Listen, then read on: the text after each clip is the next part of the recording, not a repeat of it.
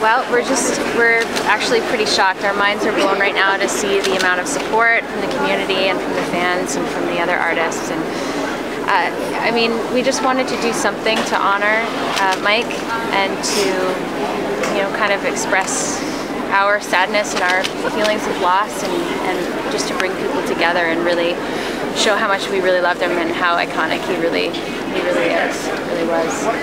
How difficult will it be to play without him today? This will be the first time, I suppose. Um, we're not really sure yet, but it's probably going to be really hard. Even just you know, kind of practicing earlier was uh, tough because we've, we've never done that before without him. So it's going to be a tough one, and uh, hopefully we can get through it.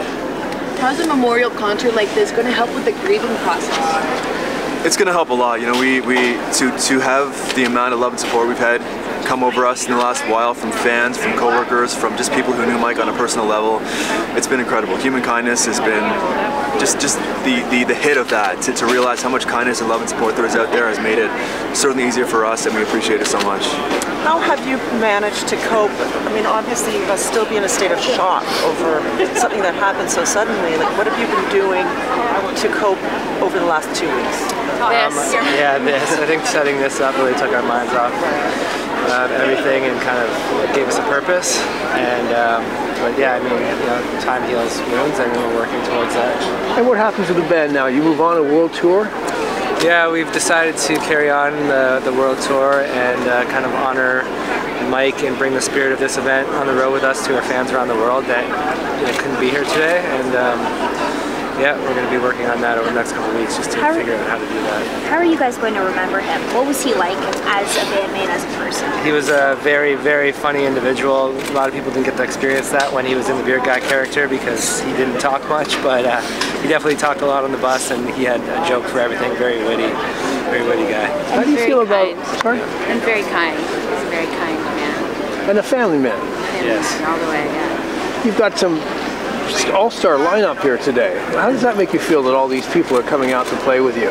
Yeah, it feels really good. Um, there's a certain camaraderie within the music industry and within certain artists, and a lot of the people we've collaborated with in the past are here today, and a lot of people that we didn't even know would be available are here today, and it just shows um, just how much support and love there is that surrounds uh, Canadian music and, and us within the community, and it's, it's really special, and we're really appreciate, appreciative of the artists that were able to, you know, black out their schedules and be here for, for him today. I see candles all around the keyboards.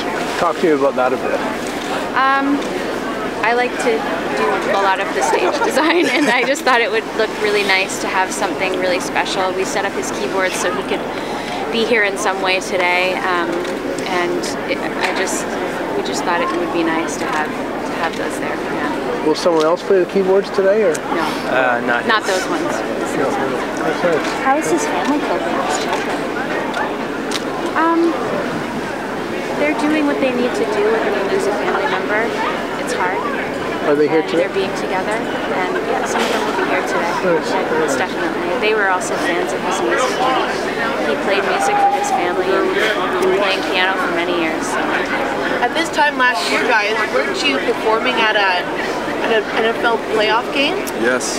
So how does it feel like in the span of one year that this so much can happen and it just puts into perspective life and time? Not not just one year, just one day. Yeah. It's really it's anything can change at any moment. So It's a it's a it's a cliche, you know, to, to some to, to say live every moment, live every moment like it's your last. But it's certainly a different experience when, when you get hit in the face with something like this. And and I think we've all had it taken a moment to really slow down and think about what means most to us. Think about family. Think about what we've done and what legacy we're going to leave. Because you know, Mike. The one bit of comfort that I that I've, I've certainly found in this is that he lived life to the absolute max. He really did live life like every day was his last, and he left an incredible legacy, and we're here to celebrate that today. How does playing music and actually performing help the healing process for you guys?